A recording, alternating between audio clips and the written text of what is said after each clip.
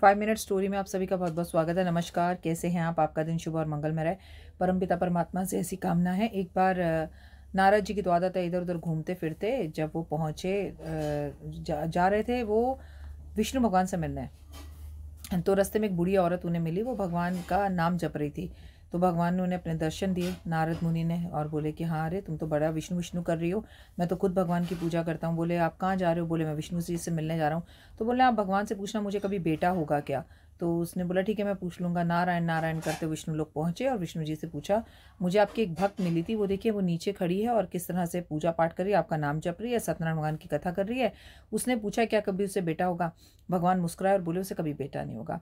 नारद मुनि ने सुना और वो वापस जाने लगे, भगवान को नमन करके। और वापस उस बुढ़िया से मिलने के लिए पहुँचे वो तो बुढ़िया ने बोला कि क्या कभी मेरे बेटा होगा? तो उसने बोला नारद जी ने बोला कि नहीं, भगवान विष्णु ने बोला, तुम्हें कभी बेटा नहीं होगा। वो थोड़ी उदास हो गई, परेशान हो गई, लेकिन फिर वो भगवान की प्रार्थना में लग गई और वो पूजा पाठ करने लगी। इतने में कुछ समय बाद उस बुढ़िया के घर के सामने से एक साधु संत गुजरे और बोले कि, भूखा हूँ, मेरे पास आटा है, तुम क्या इसकी रोटी बनाकर खिला सकते हो? बोली राटा अपने पास रखो। वो अंदर गई गर्म गर्म रोटियाँ लाई, काफ़ी सारी गर्म गर्म खाना खिलाया, सोने के लिए स्थान दिया। बाबा बहुत खुश हुए और बोले, पुत्र की प्राप्ति तुम्हें हो ये बोलकर आशीर्वाद देकर चले गए। कुछ टाइम बाद उसे पुत्र हो गया। अब इस बात को एक साल हो गया था। नारद मुनि एक साल बाद फिर वहाँ से गुजर रहे थे। गुरु पूर्णिमा का टाइम था, वो भगवान विष्णु से मिलने जा रहे थे। तो उन्होंने देखा, ये औरत तो बेटे को खिला रही है। तो बोले अच्छा तुमने बच्चा गोद ले लिया। तो बोले, नहीं, गोद नहीं लिया, मुझे बेटा हुआ है।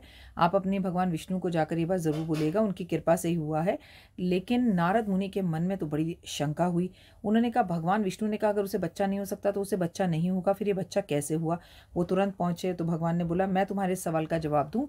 उससे पहले तुम मुझे एक कटोरी खून दे ला दो कहीं से, पृथ्वी पे से जाकर, वो पूरे ब्रह्मांड में, पूरी पृथ्वी पे घूमते रहे, सबसे पर उन्हें कोई भी खून देने के लिए तैयार नहीं हुआ। बड़े परेशान हो गए। तो वो एक जंगल के ऊपर से गुजर रहे थे। वही साधु संत जो सो, बुढ़िया को आशीर्वाद देकर गया था भोजन करके कि पुत्रो वो साधु संत उन्हें दिखा तो बोले, नारद मुनि, आप इतने परेशान क्यों हैं? बोले, भगवान विष्णु ने मुझसे कटोरी खून मांगा है और मेरे पास खून नहीं है।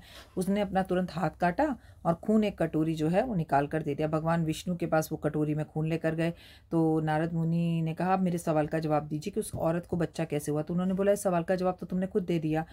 आपसे मैंने खून मांगा। खून तो तुम मुझे, तुम भी दे सकते थे, पर तुमने मुझे नहीं दिया।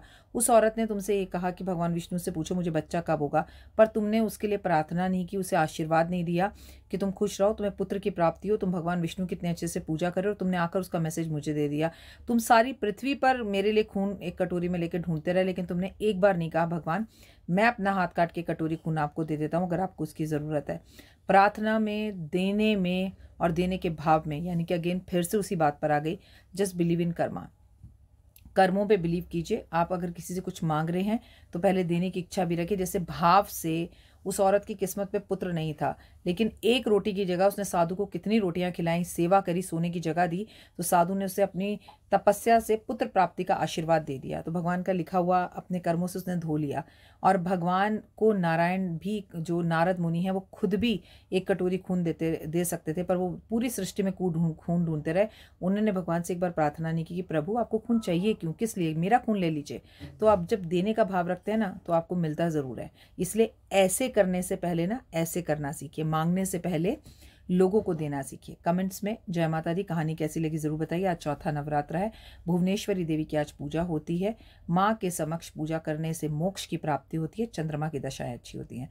कमेंट्स में, जय माता दी, सुंदरकांड का पाठ ज़रूर करें।